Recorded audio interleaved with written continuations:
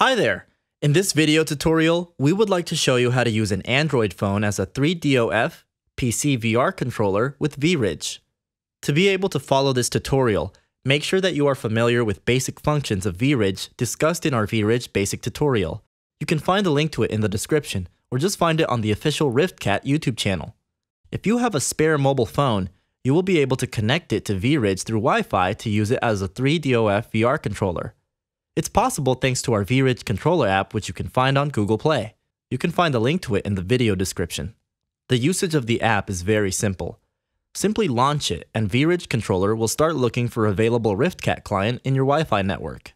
When it finds one, it will show up on the list. Select it to connect the controller with vRidge.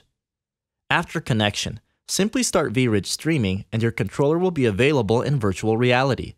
To start using it properly, you will have to reset its position. Grab your vRidge controller like this and keep your arms forward.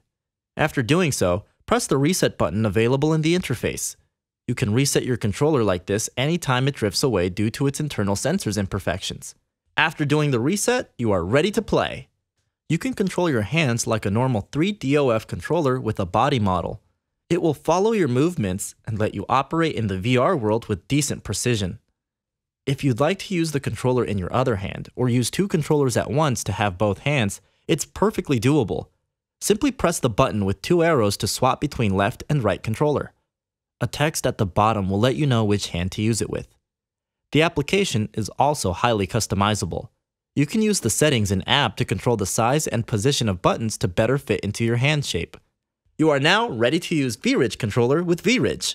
We hope that this way of controlling your hands will give you the best 3DOF VR experience possible.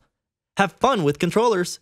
Remember to subscribe to our channel for more RiftCat and vRidge tutorials.